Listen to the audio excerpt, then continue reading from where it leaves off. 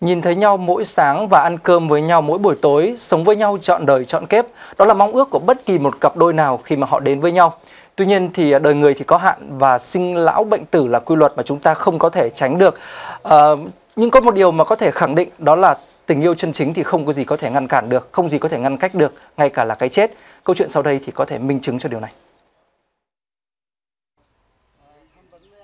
Năm năm nay, chưa ngày nào ông Thiệp không ra thăm vợ. Có điều ông chỉ có thể nói chuyện, còn bà thì không. Dù âm dương cách biệt, nhưng những cuộc gặp gỡ vẫn có hoa, có thơ như những ngày ông bà còn trẻ. Từ đây anh nguyện suốt đời thắp hương thờ phụng trọn đời vì em.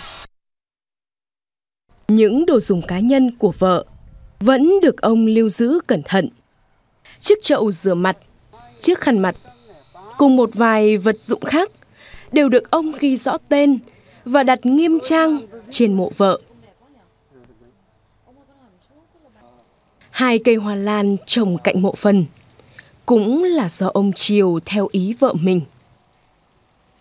Bà tôi thì cũng ờ, gọi là sinh gái lắm thì cũng không sinh nhưng mà đại để là cũng yêu đời nó hoa dầm mồng một nào bạn cũng mua về. Khi xây ngôi mộ đôi bằng đá khá cầu kỳ, ông Thiệp đã có ý dành sẵn một chỗ cho mình. Với việc ông sửa sang nơi vợ yên nghỉ bây giờ, cũng là sửa sang cho nơi sum họp của ông với vợ sau này. Tức là bà no liệu cho tôi, vì tính người ta thế, thì vợ chồng nói chuyện tâm sự với nhau thì tôi bảo thôi bà cứ yên tâm đi, tôi ngân thì đứa con, mà tôi để cái đưa không bà ra đồng mà. Thế đấy là thì, thì tình cảm nó nó lưu luyến lắm. Chẳng kể mưa hay nắng, chẳng mang đến nhà cao cửa rộng của con cháu. Những năm tháng cuối đời, phần lớn thời gian ông đã dành cho vợ. Và với người dân xã Khánh Hà, đây là chuyện hiếm có.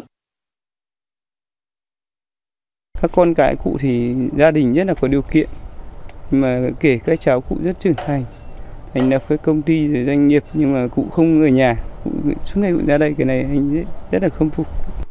Bài thơ này ông viết trong ngày vợ mất. Vừa là tiếng lòng thương và cũng là lời hẹn ước của ông.